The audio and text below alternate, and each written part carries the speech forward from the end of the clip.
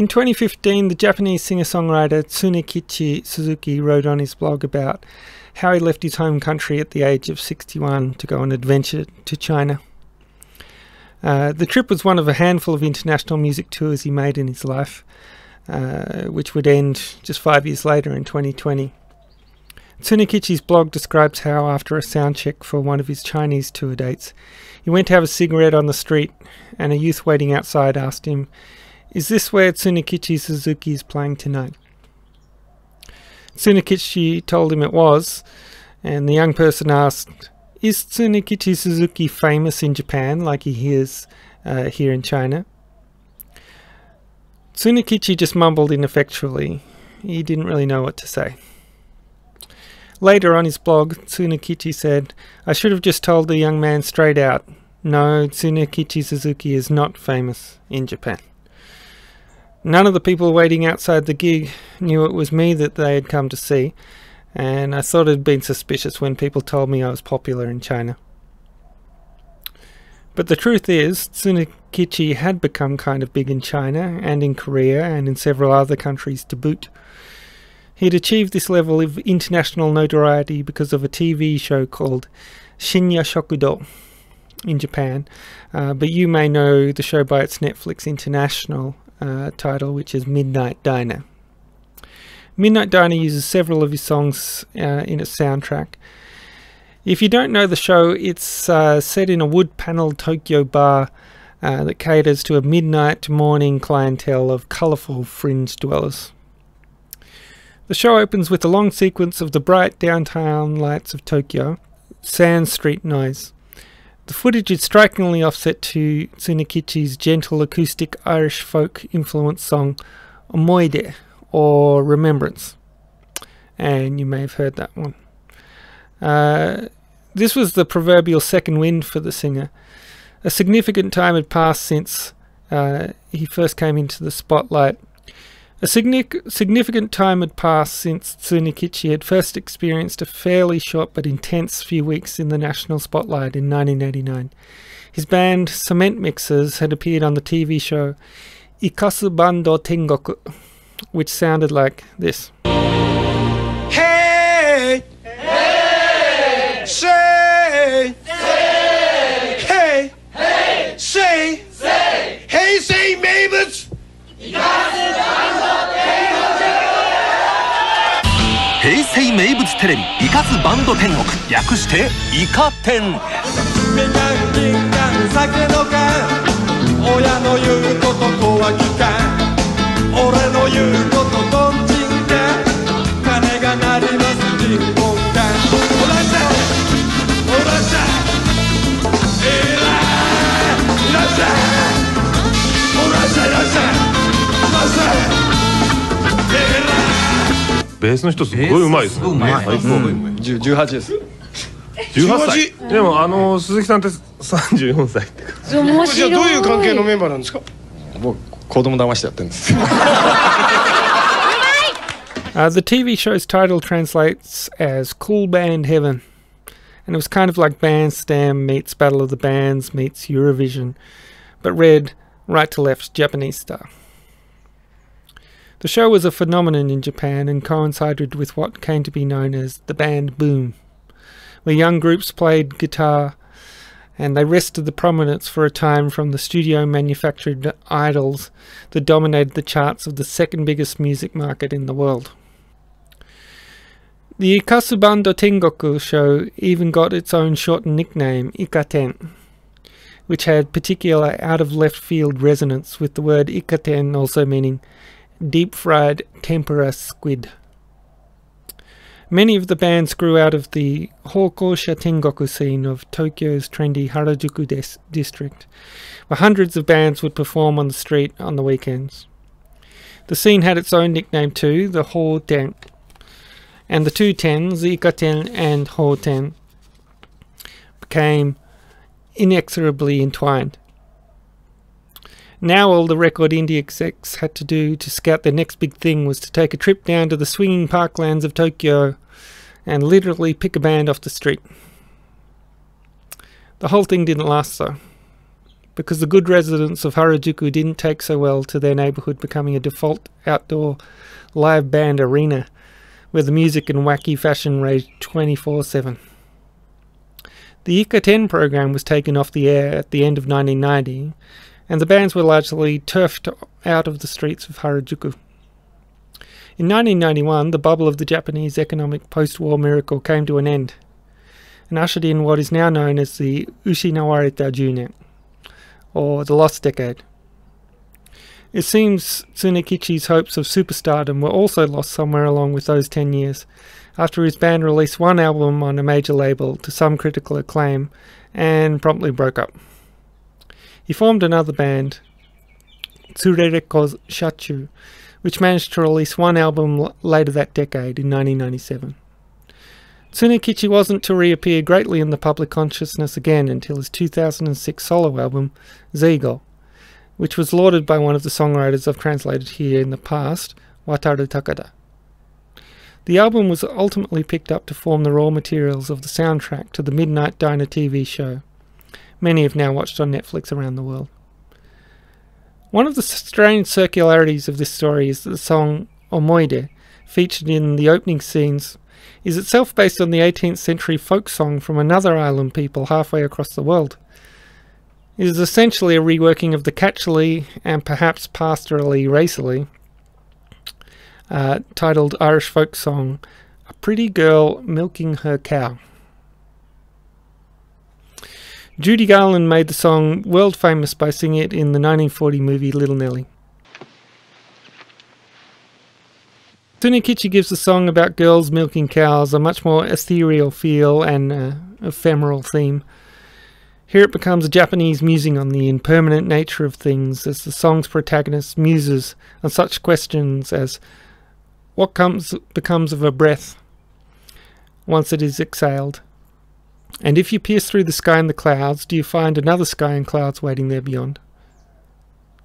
I'll let you ponder those questions as we listen to the Japanese version, and then we'll listen to my English. Now I'm going to play for you my translation of the song into English. Here is Omoide, or Remembrance.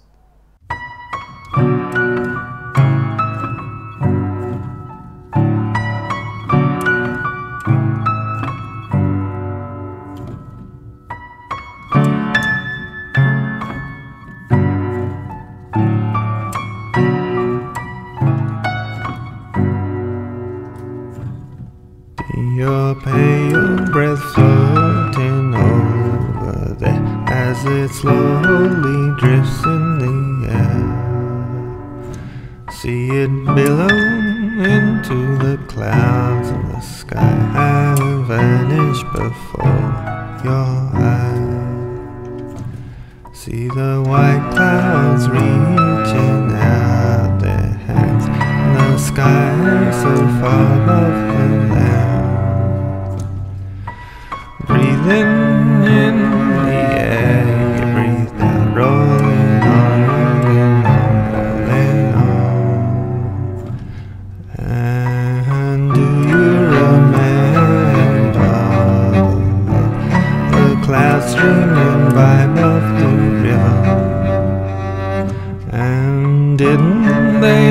just like this? Maybe my mind plays tricks. And do you remember the glaring sun the dog sleeping beneath the? And all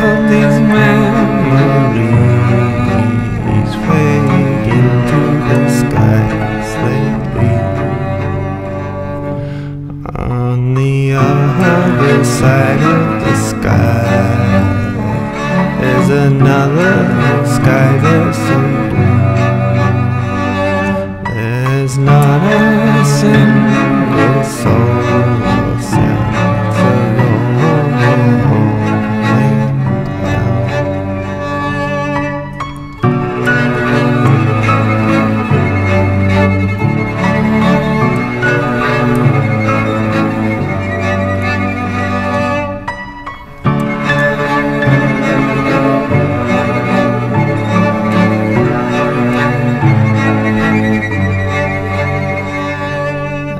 And do you remember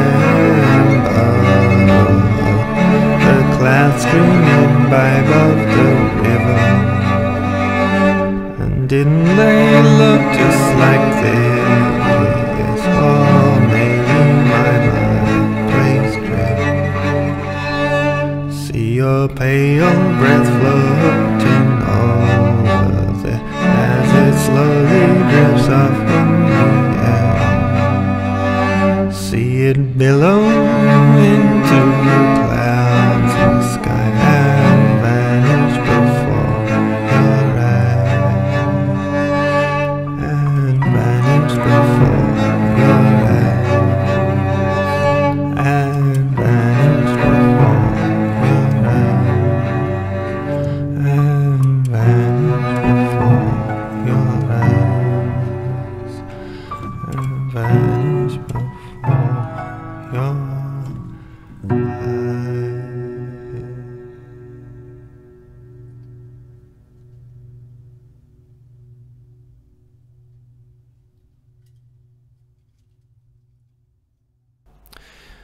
So I hope you've enjoyed that translation of the song. Please subscribe if- this is of interest. We're going to go on and have a, a, a look at um, the translation of the song, go into the weeds. Okay, so next we're going to um, have a look at the uh, translation and sort of get down into the weeds of going through line by line and um, see what all all means. So this probably won't be of interest to everyone, but um, people that are interested in the language might uh, want to listen in. So the first line in the song is "Kimi ga haita shiroi iki ga ima yukkuri kaze ni notte." Uh, so I've translated that as "See your pale breath floating over there as it slowly drifts off in the air." Um, and so we get this issue in the song of who is the uh, who's the singer and who is the singee. So that's a concept in, in songwriting. In um, yeah, who who is who is talking and who's being addressed here, and it's not always clear in this song. Um, so at the start, it sounds like somebody's talking to someone because they're saying "kimi ga haita shiroi iki ga." So kimi ga, so um, as if they're directly describing someone and maybe in a conversation with them. But then a lot of the rest of the song is sort of more like quite a poetic um, sort of form. So it's hard to know the best way to do it, but I've translated it in quite a conversational style. Um, so I've put, so for example, I've put see at the start of that, see your pale breath, as if somebody's actually saying, look at this happening, but that's not in the original necessarily. And I've also done that for later um, stanzas, see the white clouds, etc. Um, so, 君が吐いた白い息が今ゆっくり風に乗って。Uh, see your pale breath floating over there. And we could have said white breath because it's shiroi iki, but it, I think pale sounds um, just sounds a little better. And you can see that I'm I'm I'm rhyming here, so there and air. Um, and once again, there's in the original it's uh, ima yukkuri kaze ni notte. So really, as it s- drifts slowly drifts off um, on the wind, it would be a more direct translation. But I wanted the rhyme with there, so I've gone as it slowly drifts off in the air. And it goes on 空に浮かぶ雲の中に少しずつ消えてゆく which I've translated as see it billow into the clouds in the sky uh, and vanish before your eyes. So once again, we've got the rhyme of sky and eyes. Um, 空に浮かぶ雲の中に少しずつ消えてゆく and 消えてゆく first I had like disappear um, little by little so literally it's 少しずつ消えてゆく little by little it disappears um, so but I've gone with vanish uh, mostly because it's two syllables rather than three. Disappear is uh, hard to fit into a song. Um, and billow isn't really in the original either but I'm trying to get that sense of clouds that are um, you know fluffy and soft and that sort of thing. Because later on we have words like uh, pokkari to ukanderu. And pokkari is one of those onomatopoeic words that um, seems to be mostly used with with clouds. Um, so something that's soft and voluminous. So I've tried to get that sense right from the start by using words like billow. Uh, and then it goes on to uh, toku takai uh, sora no naka de te o nobasu shiroi kumo. Um, which I've translated as see the white clouds reaching out their hands in the sky so far above the land. So once again, I've rhymed land and hands. Um, toku takai sora no nakade. So literally would be yeah, in the distant heights of the sky. Te o nobasu shirai kumo. The uh, white clouds are stretching out their hands. Um, so it's quite a, a, beautiful image of somebody that's let out a breath and sort of wondering where is it going to, and the clouds are stretching out their hands and sort of pulling them in as if um, this life force, I suppose, is getting recycled. Uh, so it's to me, I guess it's like a fairly, you know, Buddhist imagery of um, like a reincarnation sort of idea, except not the idea of a, a, soul being directly reincarnated is a new thing as much as just any energy that's sort of circ- circulating um, through the elements.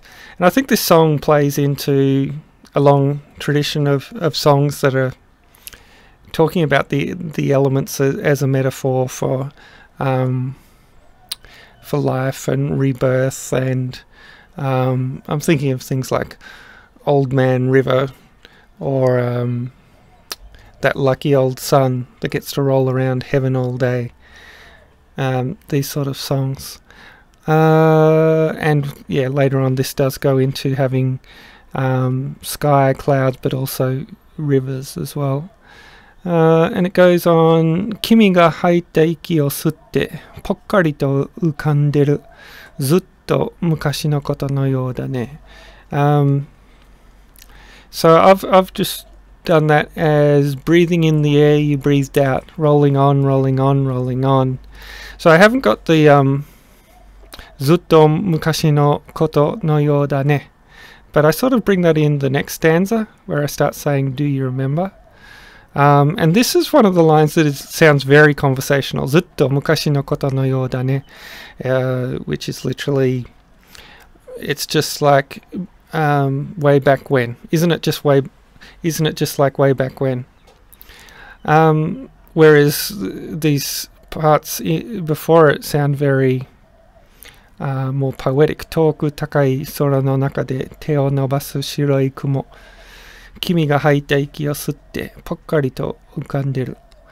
So it's just very much a description of, of, nature. It doesn't sound conversational at all. Um, and I often find things like kimi ga haita iki or sutte. So in Japanese, you have these words for iki um, or haku and um, su. So you've got two different words for breathing out and breathing in, whereas English, we don't really have that. We just say breathing out, breathing in. Um, but yeah, so often it's hard to translate, but I, I've tried to use that to advantage in this song by saying breathing in and breathing out, so you get this symmetry. Um, and then I've just gone with rolling on, rolling on, rolling on. So you get this symmetry and then this repetition, which I think has a certain um, certain sound to it. And I'm trying to get this sense here of um, yeah, clouds that are rolling through the sky. And once again, I guess I'm thinking of yeah, something a song like Old Man River just keeps rolling, just keeps rolling on. Um, but there's also other reasons. So if we go on, uh, if we go on to the next stanza, uh, and I should just say, yeah, so we've got this pokkarito kanderu. So I haven't tried to directly translate. These onomatopoeic Japanese words are hard to directly translate into English, but that's why I've sort of set it up earlier with using words like billow. Um, hopefully that gets some of the sense of pokkari to ukanderu. Uh, and then it goes on to uh, Kawamo no ue, ue o uh, kumo ga nagareru terikaisu hizashi o sakete. Um, which I've I've gone with. So, and do you remember the clouds streaming by above the river? Um, and uh, so I've kind of yeah haven't gone very directly here. So th- things like and do you remember? There's so there's no and do you remember in the original, but instead of saying zutto mukashi no koto no you da ne, I've just I've just put this in this conversational style where it's somebody saying, "Do you remember um, these things?" Which I think is kind of the sense of, of what's going on. Um, and the clouds streaming by above the river. So this is quite beautiful imagery of um, kawamo, so the the river's surface. No ue o uh, yuki um, kumo ga nagareru. So yeah, the clouds are streaming above the river, or we could have said that the clouds are, are streaming above the stream. Except we don't really say clouds stream in, in English unless they were really pelting across the sky at a fast pace. It's not something we would usually say. Um, but yeah, I, I've used it because it sounds, you know, it's got that poetic sense. The clouds streaming by above the river, and I wanted to, to keep that. Um, and this and didn't they look just like this is connected to the zutto mukashi no koto no you da ne uh, or maybe my mind plays tricks so that's not really anywhere in the original either but um, you find with translating Japanese that um, there's a lot more sounds in Japanese so you end up with all this this space at the end that you can use for other things so it's not always the case, but usually you can say more in English in less time than you can in Japanese. So if you look at like, you know, a simple word like uh, thank you, you know, obviously in Japanese, arigato, arigato. So you've got four sounds there, whereas thank you is two sounds. So if you're translating that, you've got twice as much time, which for most types of translating doesn't really matter much, but for like translating songs where it's happening in real time, it means that you have like twice as much time to fill. So I've put it in, you know, a few of my own little. Um, I've taken some liberties, or maybe my mind playing tricks. Maybe somebody's thinking this looks like something we saw years and years ago, but maybe you know, can you trust your own memory? Uh, and we've got terikaisu hizashi o sakete. So terikaisu, so reflected light or reflected back light, hizashi, or um, rays of light, uh, or sakete, so avoiding the rays of the light. Uh, Nokishita ni nemuru inu. Um, so I've translated all this as, and do you remember the glaring sun and the dog sleeping there neath the eaves? And so this word eaves is not very used very much, meaning the the outjutting parts of a of a building. Nokishita. Um, and usually I wouldn't use a word like eaves. It sounds too old-fashioned. But for this song, I think it's it's it's purposely going for quite an old-fashioned feel. So even the way it's written, the title omoide instead of using omoide, it's got omohide. So it's like an archaic, older style. Um, so it was actually nice to be able to use use this word eaves, and the song comes originally from an 18th century Irish um, folk song. So I think having these sort of older older language is appropriate, and um, yeah, I suppose when Suzuki was writing the original, he was probably, I guess he would have been aware of that. I don't know. Uh, and then it goes, oh, and I like this imagery, the Nokishita ni nemuru inu so I think that's, yeah, that's quite um, beautiful songwriting to have something specific like that, a dog sleeping be- beneath the eaves, um, trying to avoid the, the heat, um, rather than, you know, a lesser writer might have just said it's hot or something, you know. Um, goes on to 思い出もあの空空の中に少しずつ消えていく。Um, so I've translated that, and all of these memories fade into the sky as they leave. So once again, it's not a particularly direct translation. 思い出もあの 空の中に少しずつ消えていく. So if you're going literally, you might say um, the memories are little by little disappearing in the sky. Um, but uh, once again, you know, I wanted the rhyme, so I've got eaves, uh, eaves here. So I've li- rhymed leaves with uh, eaves with leave, um, and I think we're getting the sense. It goes on to この空の向こう側にはもう一つの青い空。And that's quite beautiful imagery, I think. On on the other side of the sky, there's another sky there so blue. Um, which, yeah, I like that that that imagery of thinking about what's what's on the other side of the sky. Is uh, is there another another sky? I guess it relates to that idea of a heaven that exists somewhere. If there is this thing called heaven, where would it be? And um, is it just like another sky existing beyond the sky that we can see? Is it like a um, a parallel parallel world or universe? Uh, so, yeah, この空の向こう側にはもう一つの青い空。Uh, and it goes on 誰もいない空の中に ぽっかりと浮かぶ雲。ずっと昔のことのようだね。So we've got some repetition of, of a couple of the, these lines, the pokkari. So once again, I haven't tried to translate that. that. I've translated this. Um, 誰もいない空の中に There's not a single soul, soul or a sound, but there's a rolling, rolling cloud. So, you know, once again, things like sound, there's no sound in the original, but um, trying to get that sense of daremo inai sort of and uh, we've got this repetition happening, and I've done the repetition of this rolling, rolling cloud, which once again is not strictly in the original, but um, trying to get us across a similar sense.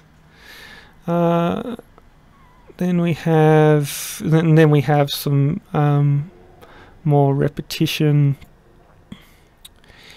Yeah, kimi ga haitta Yeah, we're back to the start to the um, 君が吐いた白い息が今ゆっくり風に乗って空に浮かぶ雲の中に少しずつ消えていく少しずつ消えていく um, and we're back to the uh, see your pale breath floating over there as it slowly drifts off in the air.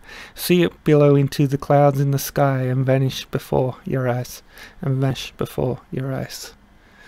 Um, and yeah, appropriately finishing on the Skoshizutsuki Yuku. And in my arrangement of the song, I sort of gradually took out the instruments to um, do a bit of word painting on that one.